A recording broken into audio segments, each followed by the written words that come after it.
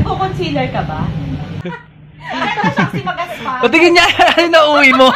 Baka pwede kang iuwi yan. Safeguard? Oo, para maganda. Yan yung May ba yun? lalagyan ka ba? Tumayo ka ka dyan. Puro ka video, di. Ganun lang, toothpaste din naman. Oo, Patingin niya, patingin niya.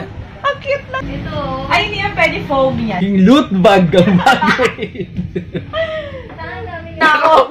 Nabili ka ba sa Watson? Kasi naiinis ako na magpiga.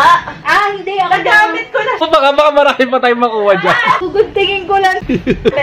Patingin niya ng Tecno Marine. Ayun, no, teka, marinig. Tingnan niya. Tingin niya. Di ba? Sinabi mo to? Oh, ayan na siya. Ah, oo. Ay, maganda. Nasa taas. Diyan gusto mo ikaw naman Oo, maganda. Feel ko mas... Tura life. Ay, naka-crocs na ako ngayon. Pag, pagbigay ng ano, insurance advisor.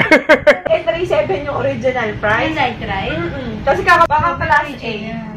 Baka class A. Lagi ka naman nalol. Pare-parehas. Hindi mo order din ako sa Magkano ba? Paano ba to? Seven, Nasaan? three, Nasaan seven. yung ganun? Nasa baba.